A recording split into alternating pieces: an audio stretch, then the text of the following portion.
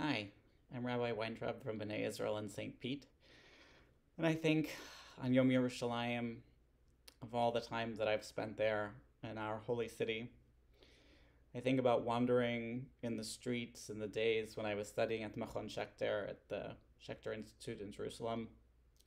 And I think about all the times that when I was exhausted or stressed, I found myself at the Kotel.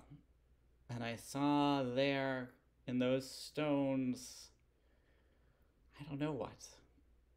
But I found myself thinking of all the people who wandered their way to those stones, who cried their tears at those stones, and shared with the Holy One their dreams and their wishes and their hopes.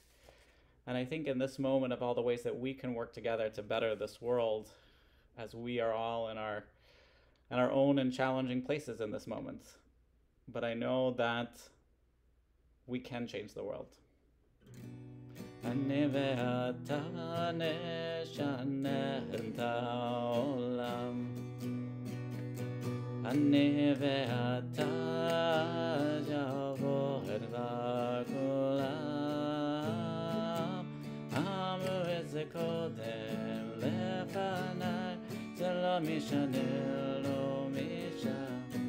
אני ואתה נשנה את העולם. אני ואתה ננסה מההתחלה. יהיה לנו רע, אין דבר, זה לא נורא. אמרו את זה קודם לפניי, זה לא משנה. אני ואתה נשנה את העולם.